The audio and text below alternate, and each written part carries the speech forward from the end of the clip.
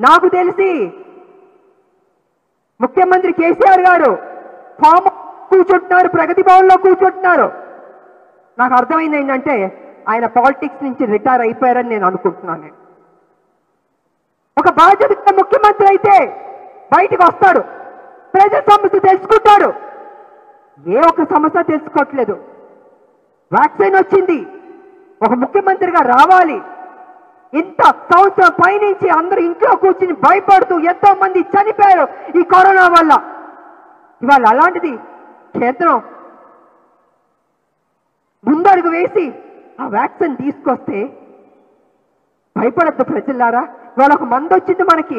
ధైర్యంగా బయటికి రండి. నేను వేసుకుంటాను మీరు వేసుకోండి అని ఆ భరోసా ఇవ్వాలి. ఆ భరోసా ఇచ్చాడు ఆయన? బయటకు వచ్చాడా? గుహలో కూర్చుంటాడు. నా దృష్టిలో ఆయన రిటైర్ అయిపోయాడు పాలిటిక్స్లో వచ్చి కుటుంబం ఆయన ఆయన దోపిడి ఆయన మంత్రుల దోపిడి ఇదే జరుగుతుంది. విసుగు చెందాం. ఇలాంటి ఒక ప్రభుత్వం మనకొద్దు. ఇలాంటి ఒక ముఖ్యమంత్రి మనకొద్దు. పనిచేయని ముఖ్యమంత్రి వద్దు. పని చేసే ముఖ్యమంత్రి మనకు కావాలి. అది రెండు వేల ఇరవై మూడులో భారతీయ జనతా పార్టీ అధికారంలోకి వస్తుంది. మంచి ముఖ్యమంత్రిని మనకి ఇస్తారు. ఆ ముఖ్యమంత్రితో మనకి ఏం కావాలో ఆ డెవలప్మెంట్ చేసుకోవచ్చు. ఇవాళ నాలుగు లక్షల కోట్లకు అప్పుకి వెళ్ళిపోయింది తెలంగాణ. మరి అప్పుడు ఎలాగ తీర్చాలి? ఇంకా మూడేళ్ళు వీళ్ళకి అవకాశం ఉంది టిఆర్ఎస్ ప్రభుత్వానికి. ఇంకా ఏం దోపిడీ చేస్తాడు? ఇంకా ఏ సర్వనాశనం చేస్తాడో అని. నాకు నిజంగా ఒక ఉద్యమకారిణిగా తెలంగాణ కొట్లాడి తీసుకొచ్చిన బిడ్డగా బాధ ఉంది నాకు. ప్రతిరోజు ఒక సంఘటనలు చేస్తుంటే పేపర్లు చూస్తుంటే టీవీలు చూస్తుంటే బాధ బాధేస్తుంది. నా తెలంగాణ ఇంత సర్వనాశనం అయిపోతుంది దేవుడా. ఎందుకు ఇలాగ అయ్యింది? బానిసులుగా ఉండకూడదు.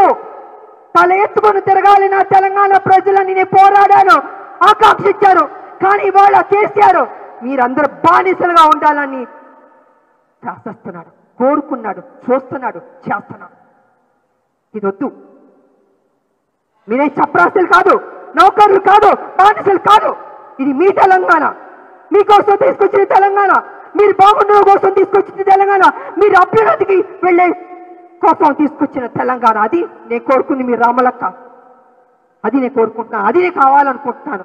అది మన పార్టీ భారతీయ జనతా పార్టీ వల్లే సాధ్యం అవుతుంది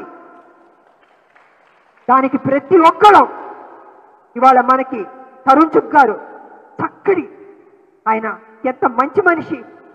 ప్రతి విషయంలో ఆయన ఇంక్లూడ్ అవుతున్నారు చెప్తున్నారు. షేర్ చేసుకుంటున్నారు ఆయన ఇలాంటి ఇలా చేయాలి అలా చేయాలని ఒక చక్కటి ప్రధానమంత్రి అమిత్ షా గారు కానీ నడ్డా గారు కానీ వాళ్ళు మా సంజయ్ గారు కానీ అందరూ ఒక మంచి టీంగా ఏర్పడ్డాం.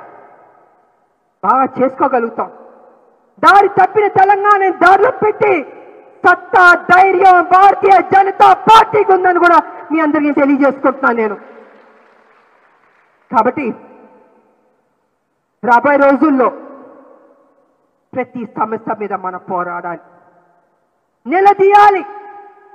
ఈ టిఆర్ఎస్ దొంగలు దోపిడీ దొంగలను ప్రజల ముందు నిలబెట్టాలి. మగవాళ్ళు కొంచెం ఎక్కువ మాట్లాడొచ్చు కానీ నేను అలా మాట్లాడలేను మహిళగా హద్దులు ఉంటాయి మనకి. మన హద్దులు ఉంటాయి మనం గీసుకుంటాం. కానీ గీసుకున్న పోరాడతాం సత్తా చూపిస్తాం. అది ఆడబిడ్డలకున్నది తెలివితేటలు. సో కాబట్టి మనకి ఎన్ని కష్టాలు ఉన్నా నా అక్క చెల్లెళ్ళు చెప్తున్నాను నేను రిక్వెస్ట్ చేస్తున్నాను. ఉంటాయి మన ఇబ్బందులు మనకు చాలా ఉంటాయి. ఒక మూడేళ్ళు ఓపిక పట్టండి. కొంచెం కష్టాలన్నీ పక్కకు పెట్టి పార్టీ కోసం రాత్రి పగలు కొంచెం కష్టపడ్డారంటే ఇంక కొంచెమే దూరం. ఆ కొంచెం మెట్లెక్కామంటే మన పార్టీ భారతీయ జనతా పార్టీ తెలంగాణలో వచ్చేస్తుంది రెండు వేల ఇరవై మూడుకి. సత్తా చాటాలి. మీ చేతుల్లో ఉంది. ఎస్ ఆడవాళ్ళం గొప్పవాళ్ళం సాధించి చూపించామని మీరు నాకు చెప్పాలి. నేను చూడాలది. ఒక మహిళగా గర్వంగా తలెత్తుకొని తిరుగుతాను నేను. కాబట్టి నా అక్క చెల్లెల్ని నేను నేను రిక్వెస్ట్ చేసేది రాబోయే రోజుల్లో ఏమేమి సమస్యలు ఉన్నాయో దాన్ని నేను మీ ముందు పెడతాం. మా పార్టీ పెద్దలతో మాట్లాడి మా రాష్ట్ర నాయకులతో మాట్లాడి సంజయ్ గారితో మాట్లాడి అరుణ్ చుక్కు గారితో మాట్లాడి అందరితో డిస్కస్ చేసి ఏ సమస్య ఉందో ఆ సమస్య మీద మన ప్రజల్లోకి వెళ్దాం పోరాడదాం. అది గ్రామాల్లోనా మండలాల్లోనా జిల్లాల్లోనో రా మొత్తం రాష్ట్రం మొత్తం దాని మీద మన పోరాడాలి. దానికి మీరందరూ సిద్ధంగా ఉండాలి. అని కూడా మీకు తెలియజేసుకుంటూ మరి ఈరోజు మీ అందరినీ నేను ఈ రకంగా కలుసుకోవడం సంతోషంగా ఉంది. కొంచెం హుషారుగా ఉంటారని నేను ఎక్స్పెక్ట్ చేస్తున్నాను. హుషారుగా ఉన్నారా? ధైర్యంగా ఉన్నారా? ధైర్యంగా ఉన్నారా? సరిపోవట్లేదు. రాములక్క దద్దరు వెళ్తుంది. మీరేమో అంటున్నారు. కాదు. మరి మిమ్మల్ని నమ్ముకుని దిగుతారు దిగుతాను ఉద్యమంలోకి చేస్తారా? హండ్రెడ్ పర్సెంట్ చేస్తారా? సాధిస్తావా?